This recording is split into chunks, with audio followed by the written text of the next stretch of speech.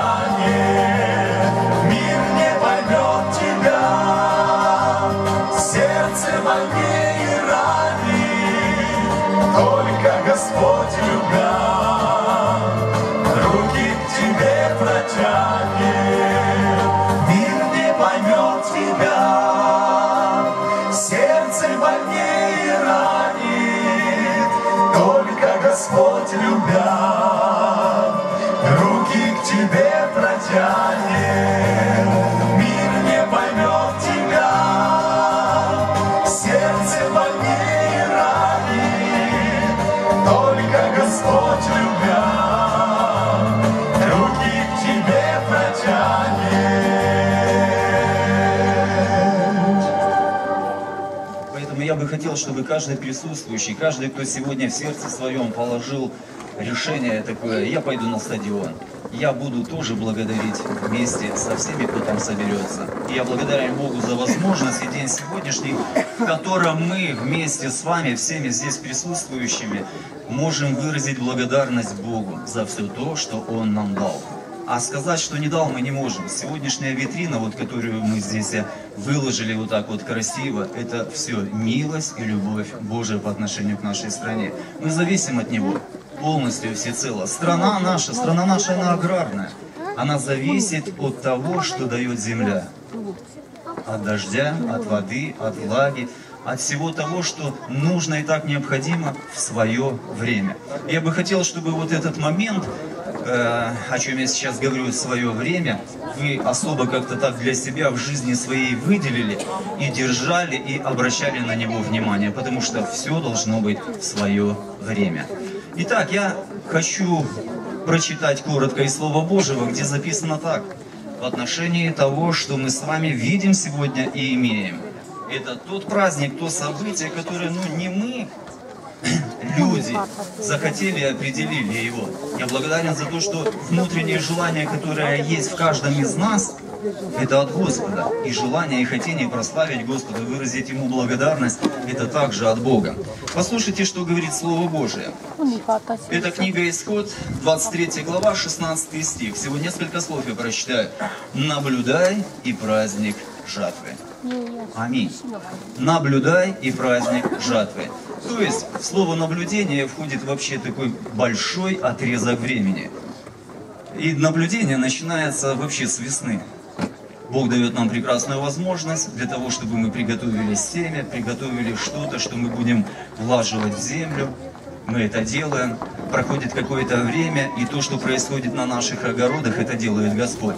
И приходит время, о котором я прочитал, время, которое нужно наблюдать в действиях – то есть в благодарности Богу за то, что несмотря на какие-то определенные прогнозы людей, которые люди прогнозируют и любят это делать, люди говорят, вот в этом году не будет урожая, и не будет влаги и так далее, и так далее. Но Господь, за что у меня огромная несказанная благодарность Богу, Он говорит, день и ночь, зима и лето, сеяние и жатва не прекратится.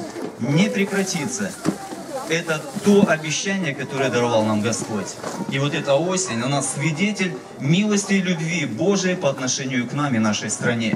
Ему да будет вся слава и вся хвала. Поэтому мы вот сейчас, открывая официально э, этот праздник, на который мы собрались, на который мы вас пригласили, мы благодарны за то, что вы откликну, откликнулись взаимностью своей и пришли сюда, я хочу вместе с вами совершить молитву. Молитву благодарности и прошения у Бога благословения на все то время, которое будет здесь. Особенности для вас присутствующих, чтобы Господь особо благословил, наполнил от милости Его, открыл окна благодати, окна небесные, благословил благословением неба, благословил благодатью неба его. Землю Бог уже благословил. Вот плоды Его благословения и любви. Но у Бога есть нечто еще особенное, особенное благословение, и Бог хочет, чтобы мы принесли и эти плоды, плоды духовные, которых ожидает Господь. Не все понимают, о чем я говорю до конца, но я хочу об этом также молиться и просить нас всех христиан. Мы живем в христианской стране, Поэтому кто как может молиться, пожалуйста, я призываю вас всех подняться для того, чтобы совершить эту молитву. Молитву благодарности и прошения благословения на это время, которое дает нам Господь. Даровал его.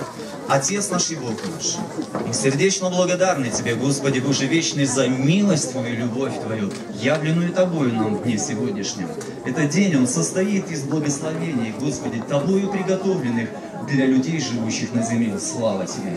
Я благодарен Тебе, мой Господь, за ту возможность, которую Ты даешь нам, за то желание внутри, которое также Ты зарождаешь, Господи, чтобы благодарить Тебя, славословить Тебя, поклоняться Тебе, Господи, Боже вечный, всем тем, что есть у нас. И я хочу и молю и прошу Тебя, Господи, наполни нас такой благодарностью, чтобы мы могли говорить даже как я вакуум, Господи, если не будет ничего даже на земле, мой Господь, чтобы и тогда мы благодарили Тебя, славили и величили, потому что Тобой живем, движемся и существуем. Ты жизнь наша и упование наше. Благослови каждого присутствующего, благослови каждого, кто слышит, Господи, все то, что происходит здесь. Боже мой, молю и прошу Тебя, Духом Святым совершай работу Твою здесь, на этом месте. Духом Святым проходи по рядам, касаясь сердец наших, наполняя от полноты Твоей и совершая работу Твою.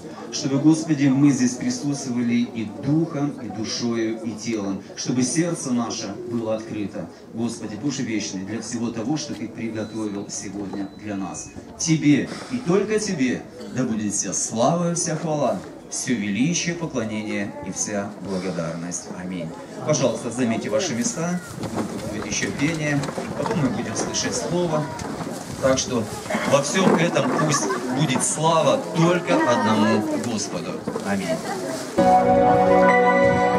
Наша жизнь — это Бог, наша радость в Иисусе, наше счастье лишь в Нем, только в Нем. Неразрывном, едином, семейном союзе. За Христом мы пойдем,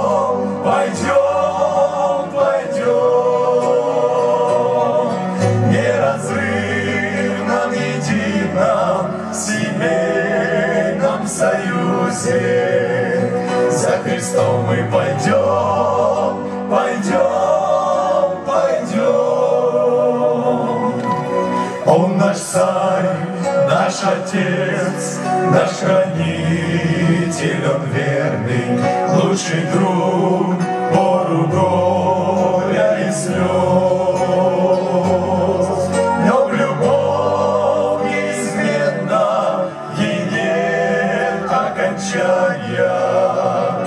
Лучше моря она, ярче солнца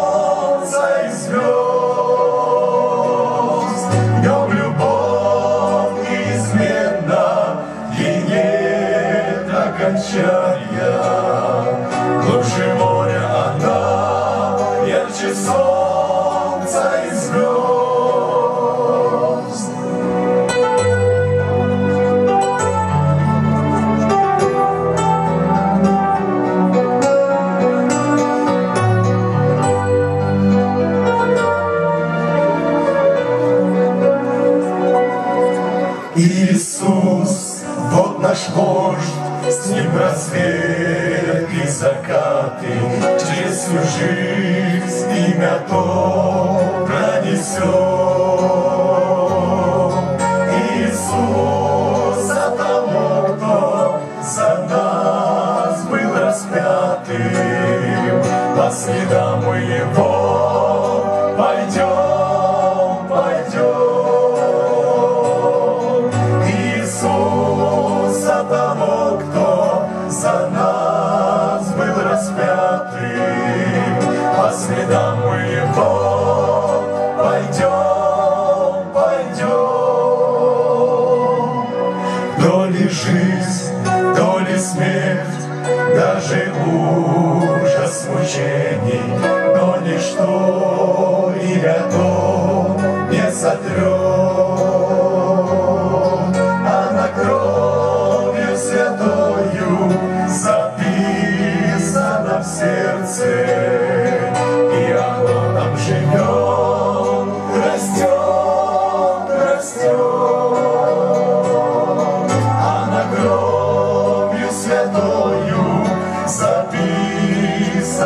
сердце, и оно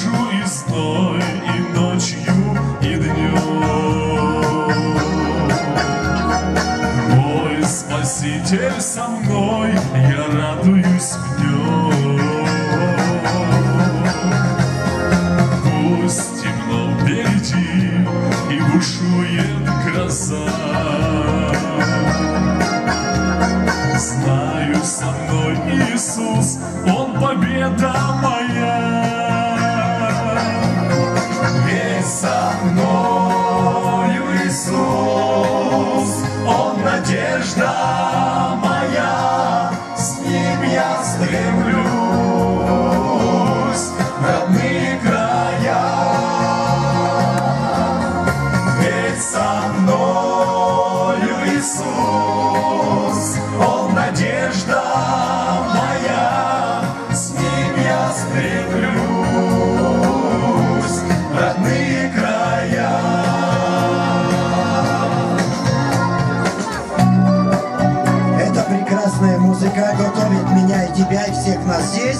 Чтобы мы еще раз пели этот прекрасный припев. Петь со мной Иисус. И давайте договоримся сразу. Первый раз поем очень тихо. И второй раз еще тихо, чтобы все позавидовали оттуда, что о чем же здесь поют. А потом громко скажем, вот о чем мы поем. Аминь. Поем все вместе, ведь со мной Иисус.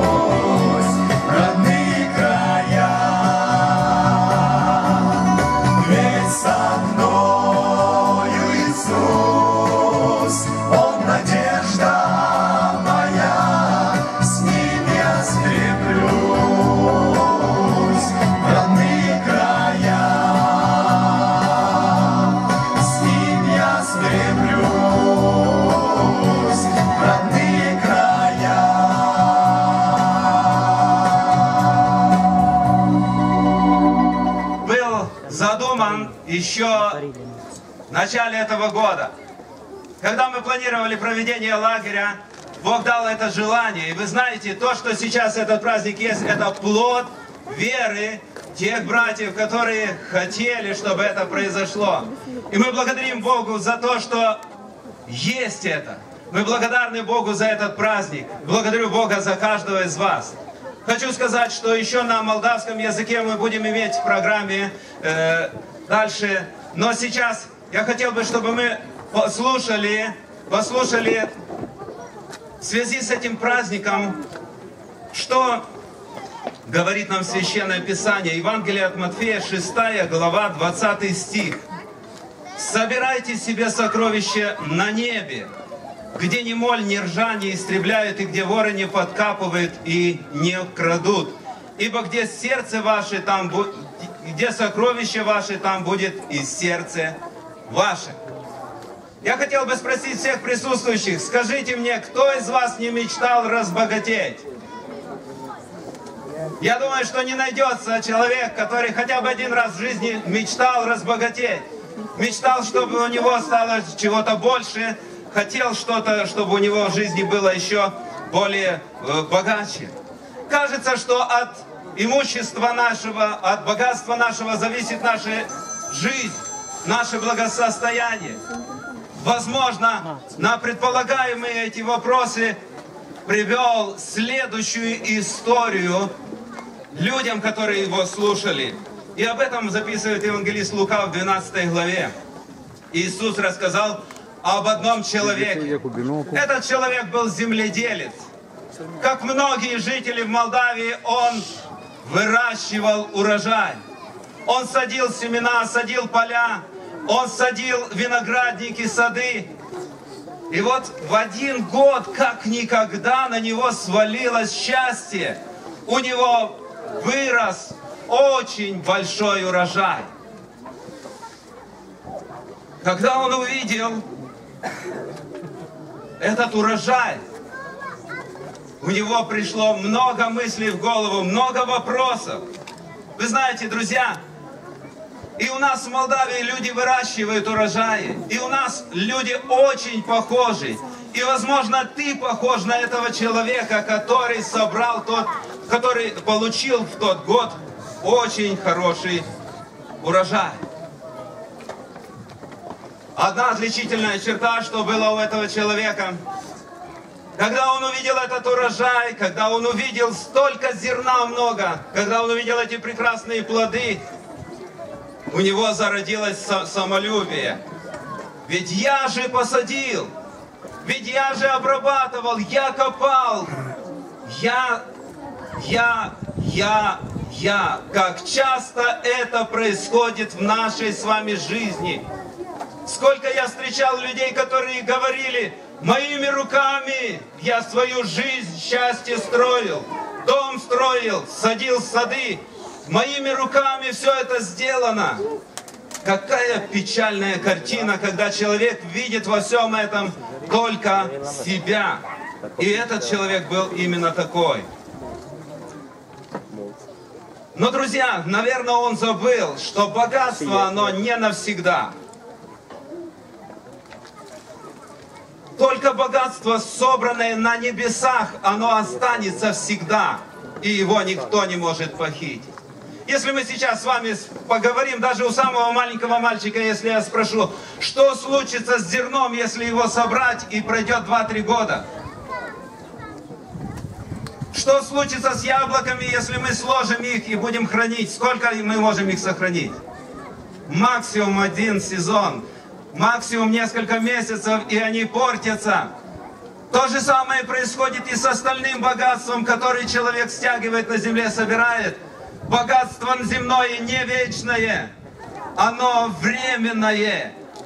И есть тот, который нам его дает. Иисус Христос сказал такие слова. Не собирайте себе сокровищ на земле, где моль, ржа, где воры подкапывают и крадут. Но собирайте себе сокровища на небо.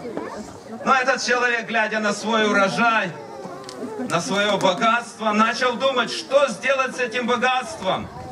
И вдруг лицо его озарилось улыбкой. Ему пришла идея, ему пришла мысль, что он сделает. Если бы сегодня ты был на его месте, скажи, пожалуйста, что бы ты сделал? Может быть, этому человеку пришла идея раздать из своего урожая бедным людям – о, сколько было бы радости вокруг, если бы люди получили хотя бы по чуть-чуть из его урожая. Может быть, этому человеку пришла идея отнести из своего урожая в Божий храм, где есть служат, люди, которые служат в, в храме, которые питаются от, от пожертвований. Но нет, ему никакая из этих идей не пришла. Все, что ему пришло, в голову, это разломать свои старые амбары, свои старые хранилища и построить новые. С этого момента все его мысли стали сосредоточены на том, как это сделать. Он сел, взял листок бумаги, начал что-то чертить, начал что-то считать, мерять, рисовать чтобы спланировать свой чертеж. Старый сарай надо снести, надо сделать склад побольше. Подвал надо выкопать поглубже, для того, чтобы там поместилось больше овощей и фруктов, чтобы они сохранились. Сколько для этого нужно камня, сколько нужно досок, дерева и так далее.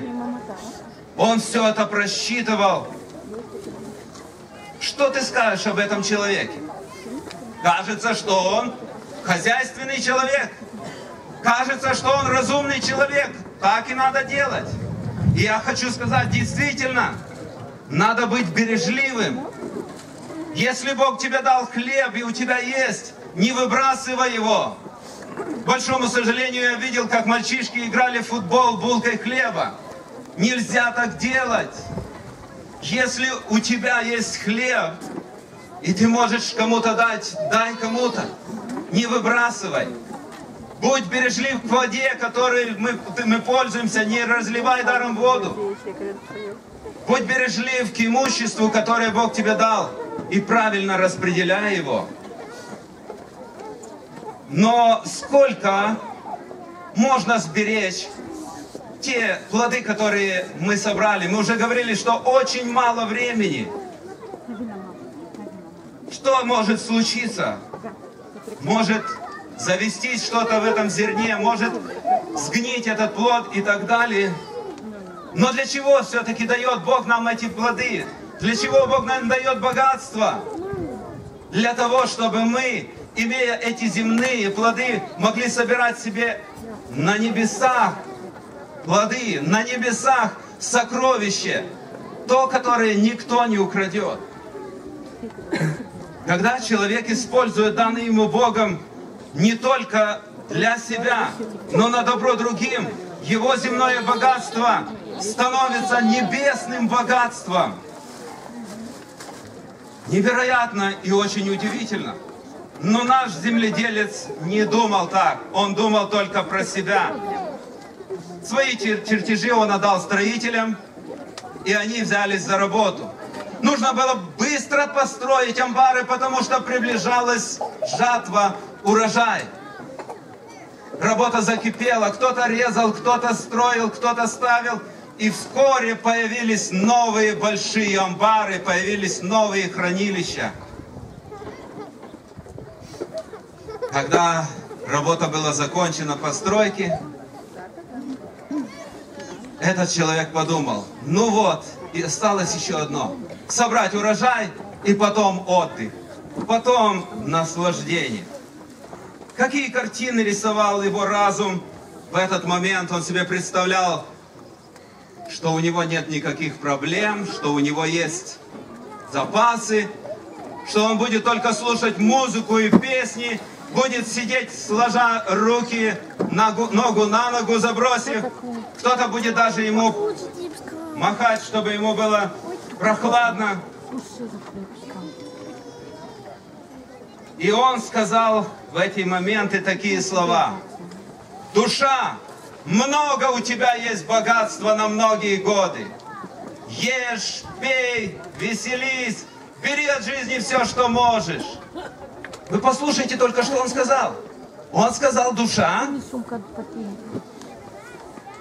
а можно душу фруктами накормить? Можно зерном душу удовлетворить? Нет. Между прочим, если мы говорим о душе, это то, что человек думает, то, что он чувствует и то, что он выбирает. Чувство, разум и воля. Это не питается земными богатствами. Но этот чудак думал, что всеми своими урожаями он накормит свою душу. Душа – это та часть человека, которую Бог сотворил, и она является вечной. Тело, вот эта коробка, она временно, она умрет и будет закопана в землю. Но внутри находится душа. Вы слышали такое выражение «душа болит»? Это не палец, это не рука, это не нога, это душа. Внутри, внутри тебя есть. И эта душа вечная. И эта душа разбогатеет только тогда, когда ты будешь собирать не на земле, а на небе сокровище. Но этот человек, он перепутал все. Нашего богатея не беспокоило то, что душа его не заберет с земли ничего. Рассказывает за Александра Македонского, который захватил тогдашний цивилизованный мир почти весь. И когда он в 33 года умирал, он сказал, руку мою поставьте снаружи гроба, чтобы все видели, что я с собой ничего не заберу. Или вы видели, что кто-то может с собой забрать хоть часть своего имущества? Нет, человек это не может забрать. Он считал, что он преуспевающий человек и что у него все получится. Но послушайте, что о нем говорит Бог. Если мы прочитаем Евангелие от Луки, 12 главу, 20 стих, то мы услышим такие слова. Но Бог сказал, безумный. Бог говорит о нем, безумный, не имеющий разума. Казалось бы, хозяйственный человек, казалось бы, заботливый, бережливый, но безумный, потому что во всем этом не увидел Творца, потому что во всем того, что происходило, он видел только себя и свое. Почему он безумный? Читая дальше, мы увидим. Господь говорит, в эту ночь душу твою заберут у тебя. Кому достанется все то, что ты заготовил? Какая печальная трагедия, конец этой истории показывает этого человека. Он даже и не думал о смерти. Он мечтал о долгой счастливой жизни. Но смерть уже стояла на пороге. Он забыл, что только сокровище, которое собрано на небесах, оно вечно. Оно навсегда, остальное проходящее. Давайте подумаем, друзья, что мог бы этот человек сделать, чтобы у него изменилась ситуация? Чтобы он не получил этот титул безумный. Первое, что он мог бы сделать, он мог бы поблагодарить Бога за урожай, который он получил. И то, что вы уже сегодня много раз слышали, братья говорили, благодарность Богу за все это. И мы сегодня пришли благодарить.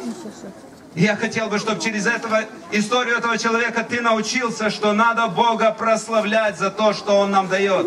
Дает здоровье, дает дождь, дает э, мудрость, дает силы, дает благоденствие, мирное небо над нашей головой. Бог в Библии нас учит благодарить. Второе, что Он мог сделать, попросить у Бога открыть, что можно сделать со своим имуществом, чтобы помочь другим людям.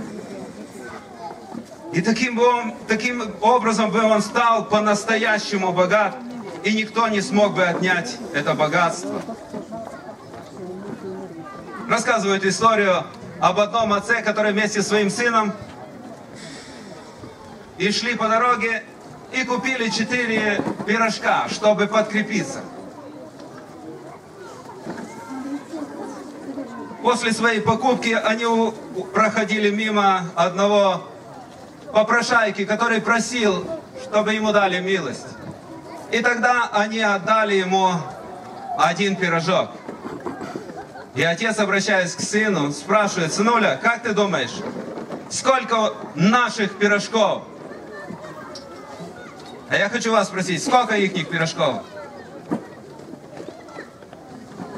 Из четырех они один отдали.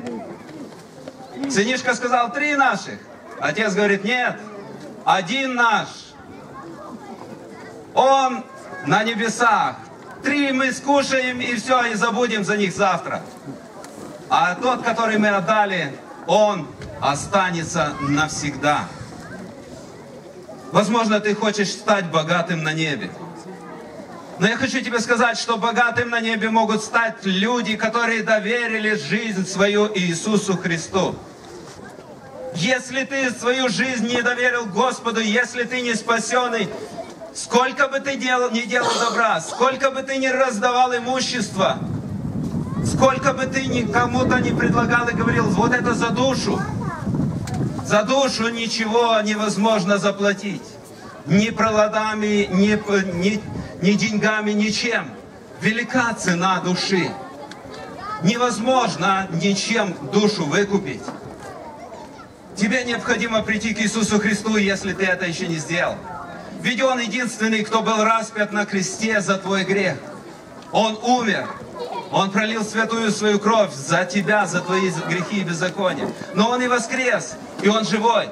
И сегодня Он приглашает тебя, придите ко мне все труждающиеся и обремененные, и я успокою вас. Если ты еще не сделал этот шаг, сделай это сегодня. Сделай на этом месте. Сделай очень просто. Скажи ему о том, что ты грешник. Скажи ему о том, что ты веришь, что Иисус умирал за тебя. Попроси его стать твоим Господом и Спасителем, и он это сделает. Ты можешь делать это сейчас, ты можешь делать это в конце собрания, когда еще будет призыв к покаянию. Но сделай это от искреннего сердца, ведь Бога обмануть нельзя. Он видит твою искренность. Но если ты уже обратился к Господу и Спасителю, если ты христианин, и ты доверил свою жизнь Господу, собирай себе сокровища. Где? В амбары? На небесах. Имеешь два яблока. Отдай одно кому-то, который не имеет. Имеешь две одежды. Дай тоже тому, который не имеет. И таким образом, то, что ты отдал, ты соберешь на небеса. Делай это от всего сердца. Делай с большой любовью. Ты познал, что Господь твой Спаситель. Ты познал Иисуса Христа. Вокруг тебя есть люди, которые не знают Его. Делись верой. Рассказывай другим людям о Спасителе Иисусе Христе. И ты, ты соберешь сокровище на небе. Да благословит сегодня Господь всех нас научиться быть благодарными Богу и быть по-настоящему богатыми. Чтобы однажды Бог, не посмотрев на тебя или на меня, и не сказал, безумный, будь мудрым. Аминь. Сейчас мы будем иметь прекрасное время, когда мы совершим молитву благодарности за урожай, который собран. Я попрошу пасторов, чтобы подошли сюда, и мы будем молиться за хлеб, хлеб физический, который собрали в этом году. Мы будем молиться и благодарить Господа за хлеб духовный, за Слово Божие. Пастора будут совершать молитву благодарности. Вы в тишине также присоединяйтесь к этой молитве.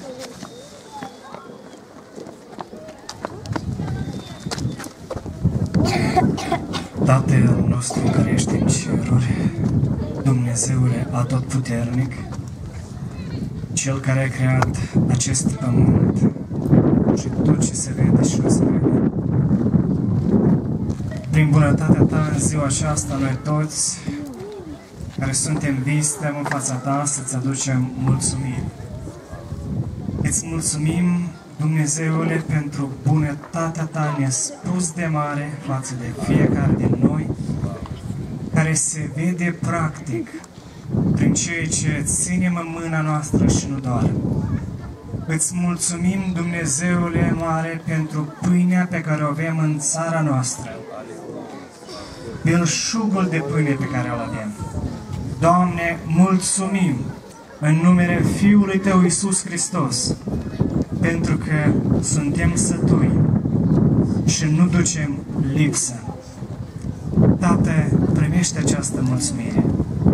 Amin. Eu voi veni și voi mulțumi pentru apa care zi de zi noi o folosim și care astăzi frații au accentuat că în alte părți și chiar vreau să spun că o mare parte din globul pământesc nu au apa potabilă cum o avem noi în Moldova. Și ca să fim și mai mulțumiți pentru apa care ne dă Dumnezeu, noaptea aceasta Dumnezeu a turnat peste noi apa Lui, care n-am plătit nicio, niciun leu, nicio căpeică n-am dat, pentru că Dumnezeu a udat pământul, pentru că a dat vlagă, și lumea de mult cerea, era totul în colț, totul... Și astăzi Dumnezeu, noi uh, când uh, pregăteam să facem, ne gândeam, e foarte cald. Cum am să facem noi această sărbătoare? Ne gândeam să facem acolo în parte și eu unde, unde era umbră. Cât de frumos Dumnezeu s-a îngrijit ca să dă apa Lui, ca să răcurească pământul, ca astăzi în locul acesta să-i putem mulțumi. Da? Dacă nu ploua, ne gândeam, îi mulțumim noi Domnului pentru apă, dar era ghine să dea Dumnezeu o ploaie. Vedeți cum a dat Dumnezeu ploiță? Haideți în rugăciunea aceasta să-i mulțumim pentru apa aceasta. Tată din cer, în numele Domnului Isus venim să-ți mulțumim pentru apa care ne-o dai în fiecare zi, Doamne. Îți mulțumim că această apă face să crească totul în jur, Doamne. Îți mulțumim că prin ea au crescut roadele de care astăzi îți mulțumim. Îți mulțumim, Doamne, că avem din belșug Și poate chiar dacă noi, prin sate, în unele fântâni, Doamne, a mai secat apa, totuși este și îți mulțumim, Doamne, că Tu dai ploaie, Tu dai această apă necesară pentru fiecare zi. Slăvit să fie numele Tău, îți mulțumim. Îți mulțumim din suflet și din inimă că Tu te îngrijești de noi și Tu ne dai apa aceasta. Lăudat să fii, binecuvântat să fii Tu, Tată, Fiu și Duhul Sfânt. Amin. Аминь. Отец Небесный, мы благодарим Тебя за хлеб, сшедший с небес, Слово Твое. Мы благодарим Тебя за обилие Библии, которые мы имеем в наших домах. Благодарим Тебя, Господь, что сегодня мы можем читать Слово Твое, разуметь и исполнять его. Я благодарен Тебе, Господь, за то, что печатаются Библии большими тиражами, и каждый желающий может иметь Слово Твое. Благодарю Тебя за это. Прошу Тебя, Господи, благослови и дай людям жажду Слова Твоего.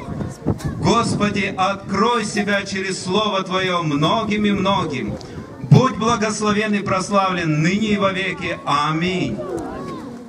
Слава Господу. Занимайте, пожалуйста, места. Сейчас в программе нашего служения дадим возможность спеть песню Дан Сурлауру из э, села Кедросы. Он э, прославит Господа пением.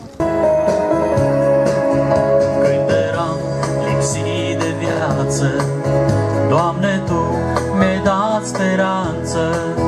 Mi-ai dat mântuire în dar Căci trăiam fără de har. Îți mulțumesc din inimă Tu m-ai găsit, Domn prea iubit. I-ai îndurat de mine și m-ai mântuit.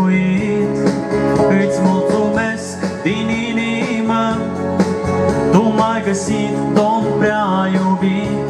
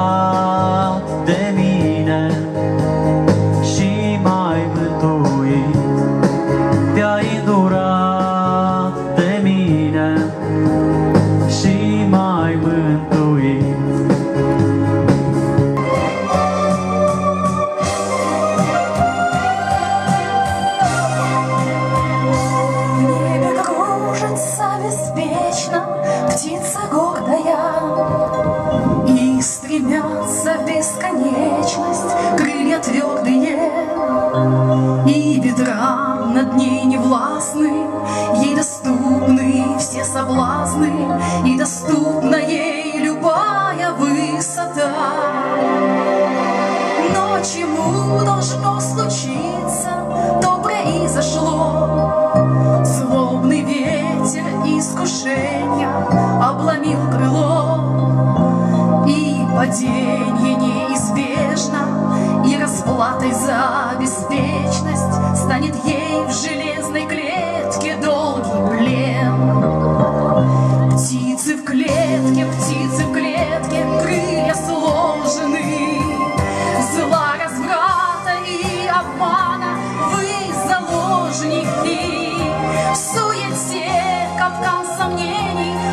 подстерегал. Плод запретный искушений вашим пленом стал. Вам вспорхнуть бы в небо синее, к солнцу там тепло,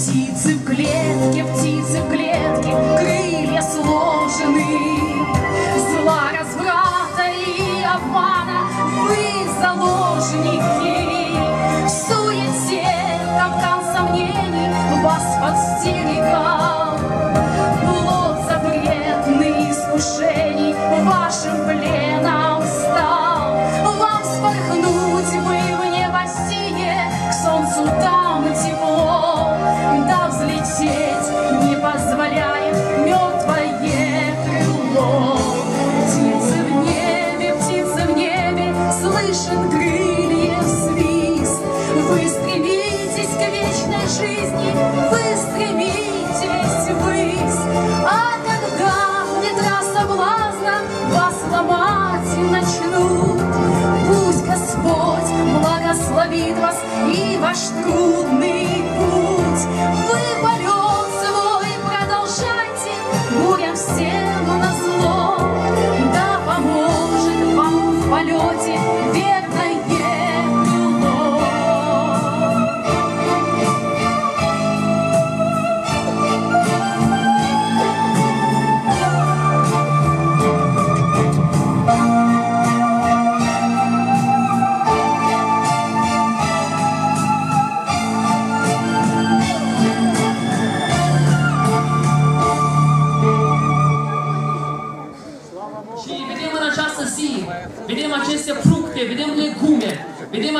Binecuvântări care oamenii poate au spus că în acest an posibil să nu avem roade. Dar Domnul spune nu. Vor fi roade în acest an, fiindcă El este stăpân. De aceea în această zi vrem să recunoaștem puterea lui Dumnezeu, nu numai în această lume, dar și în viețile noastre. Ne-a dat viață, ne-a dat nădejde, a pus credință în inima noastră și în această zi putem să fim siguri în ziua de mâine dacă ne punem încrederea în Iisus Hristos ca Domn și Mântuitor.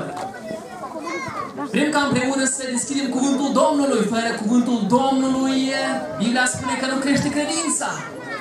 Dar vrem să facem ceva să, crede, să crească credința noastră în Domnul Isus Hristos. Deci vreau ca împreună să urmărim pe paginile cuvântului Domnului un așa un text care este lăsat de Domnul Isus Hristos înainte de a pleca la cer. Ultima cuvântare a Domnului Isus. Haideți să vedem, este un cuvânt de nădejde, un cuvânt de siguranță, un cuvânt de nădejde și binecuvântare. Ioan, capitolul 14, începând cu versetul 1 până la versetul 6. Domnul Isus a spus următoarele cuvinte. Să nu vi se tulbure inima. Aveți credință în Dumnezeu și aveți credință în mine. În casa tatălui meu sunt multe locașuri. Dacă n-aș fi așa, v-aș fi spus. Eu mă duc să vă pregătesc un loc. Și după ce mă voi duce și vă voi pregăti un loc, mă voi întoarce și vă voi lua cu mine, ca acolo unde sunt eu să fiți și voi. Știți unde mă duc și știți și calea acolo. Doamne, i-a zis Toma, nu știm unde te duci, cum putem să știm calea acolo?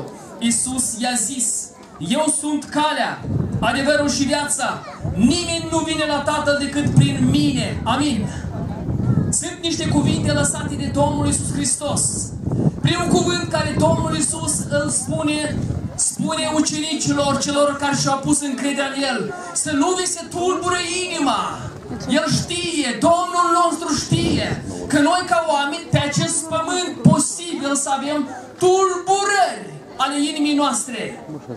Mulți dintre dumneavoastră vă gândiți poate ce va fi în ziua de mâine. Mulți vă gândiți, voi avea de lucru, mulți vă gândiți, voi avea salariu, unde să mă duc, unde să plec ca să, am, să pot să am grijă de familia mea.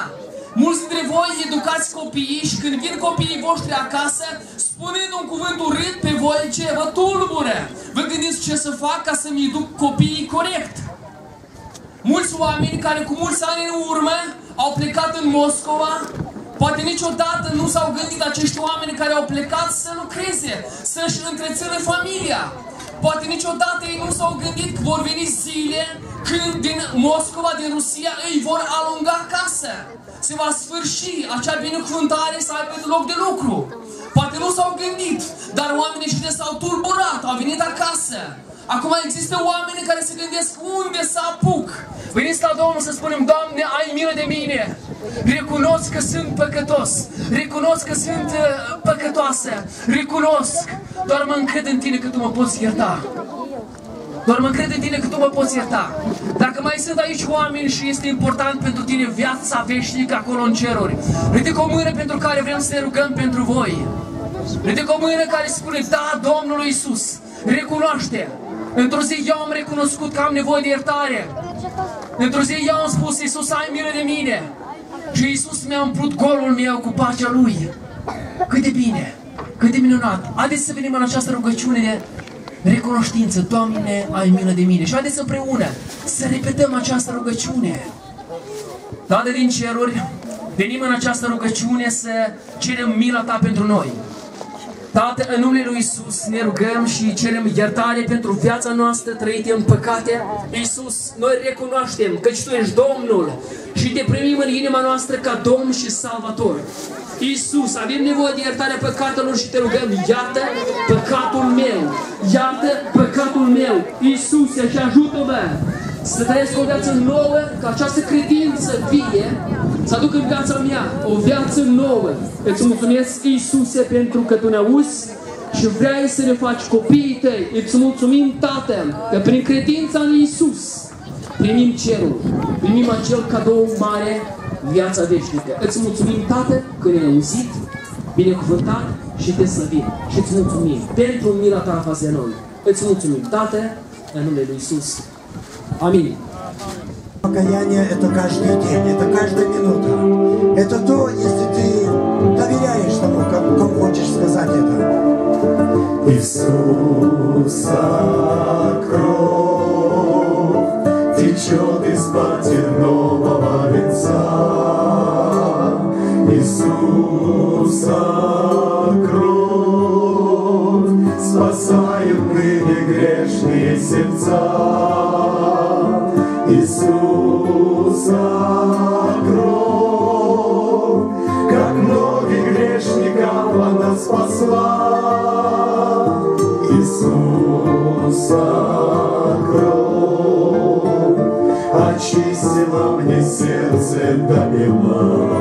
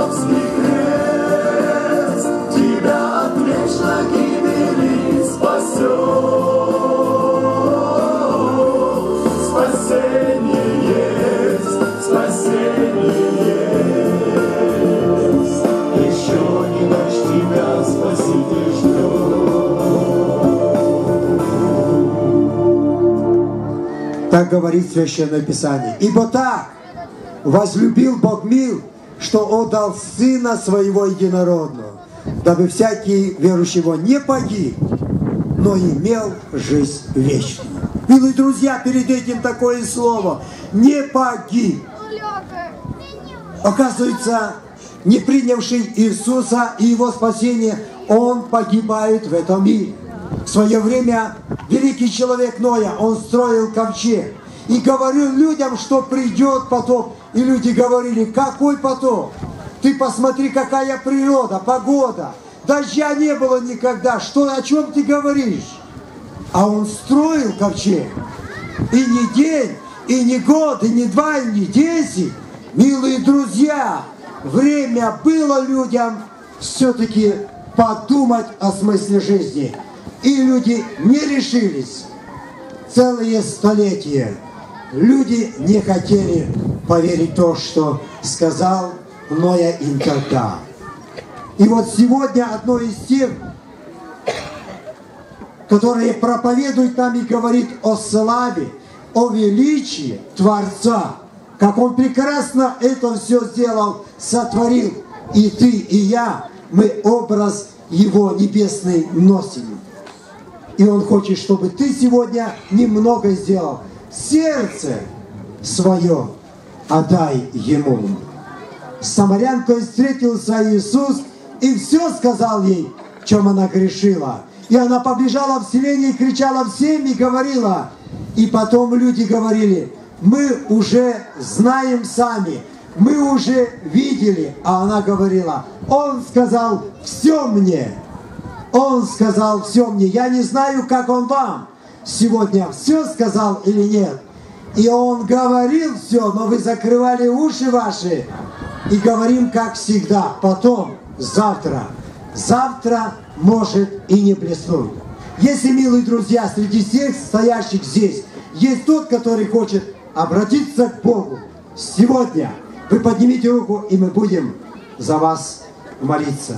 За одного будем молиться человека. Еще кто есть? Еще кто есть? Вот за вас будем молиться, за вас будем молиться. Там еще есть женщина. Будем за вас молиться. Еще, милые друзья, двери спасения открыты. Завтрашний день не твой, мой друг, и не мой. Но что говорит Священное Писание, обращаясь к нам? Чтобы мы все покаялись. Это очень важно. Покаяться, признаться. Маленький ребенок разбил чашку и говорят, ты разбил. И он машет рук головой, нет. Молится наш добрый пастырь, Господь наш и Бог. Мы благодарны Тебе за сегодняшний день.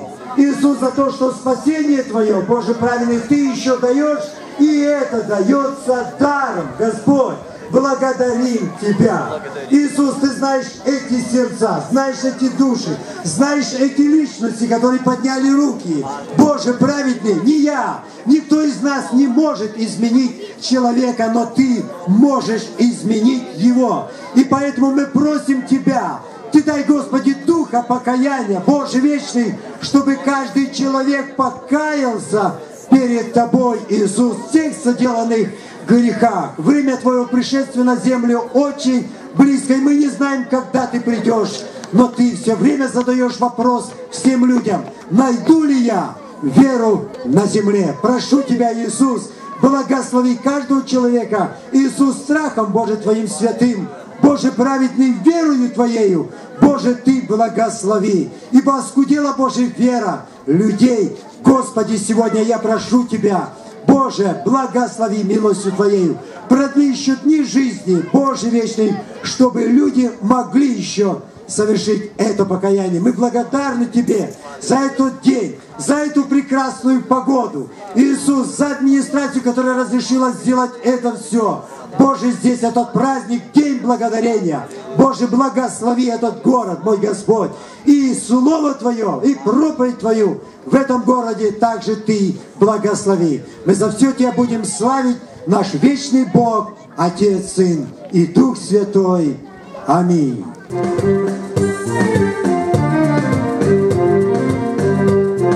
Мое сердце для Молдовы и душа моя О Молдове целой Божией озабочен я Над которой солнце светит и течет вода.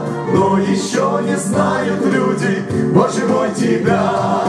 Дай сердце Богу, дай, о моя страна Молдова Дай сердце Богу, дай, открывая дверь Дай сердце Богу, дай, колыбель моя Молдова Эй, слышь ты меня, песня для тебя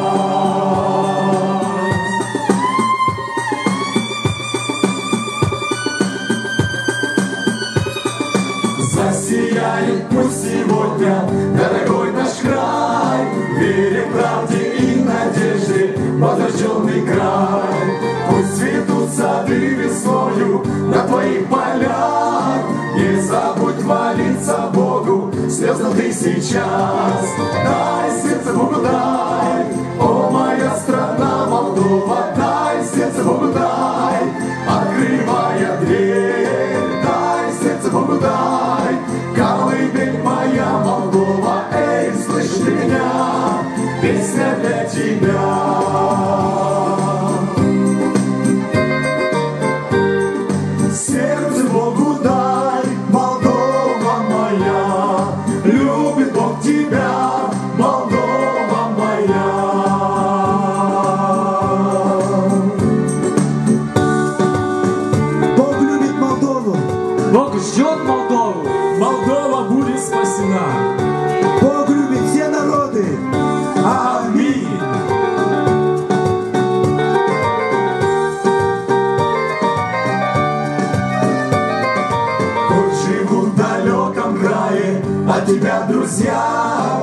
со скорбью вспоминают о тебе всегда. Много встреч и расставаний, слезы на глазах, а тебе моя Молдова, наш любимый край. Дай сердце Богу дай, о моя страна Молдова, дай.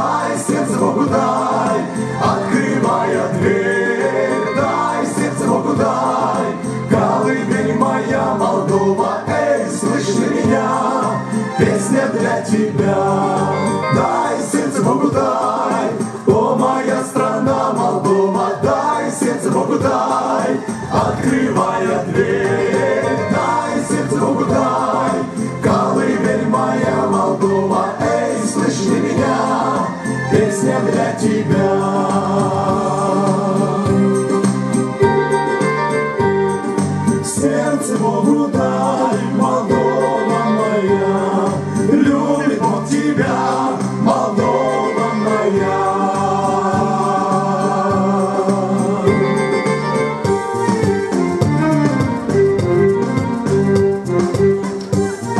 cu piesele la român să-mi Dumnezeu este tăria.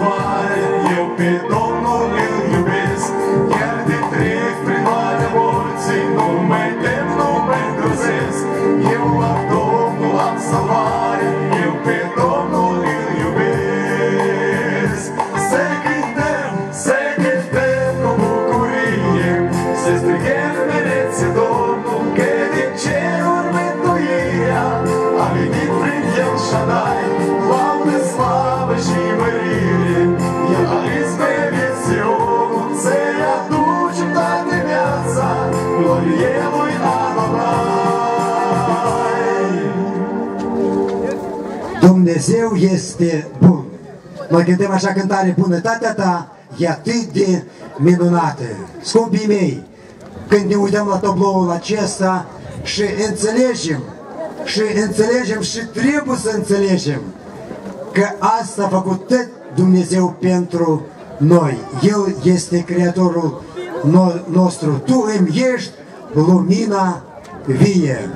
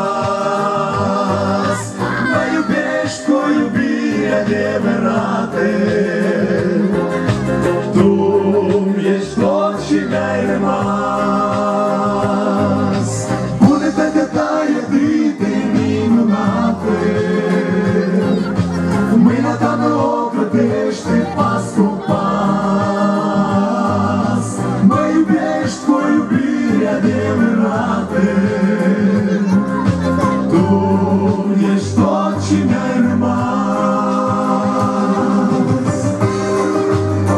Женщине там подальше, приходите сюда.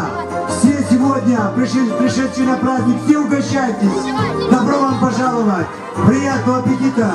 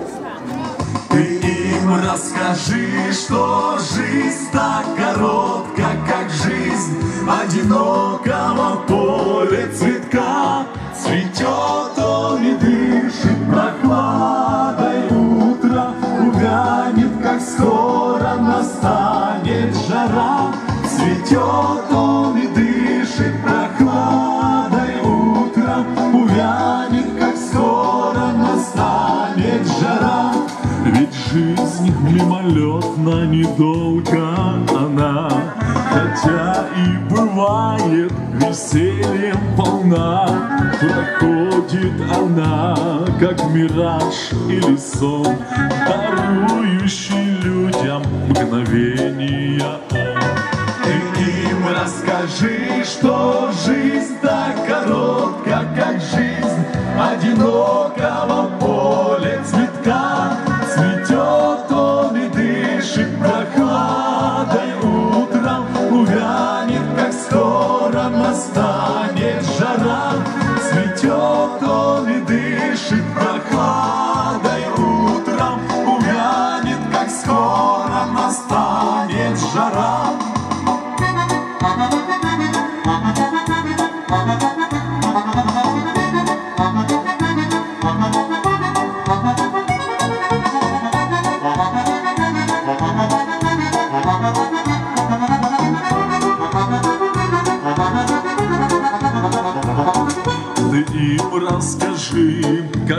Христос вас любил, как в тяжких страданиях кровь Он пролил, чтоб каждый, кто в мире живет без Христа, мог счастье найти у подножья креста.